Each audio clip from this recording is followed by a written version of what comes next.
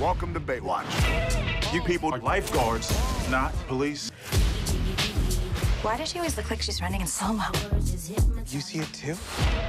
You going night-night. You ready to do this? Hell yeah. Whoa, whoa, what are you wearing? Freedom. That's desecration. Oh. oh.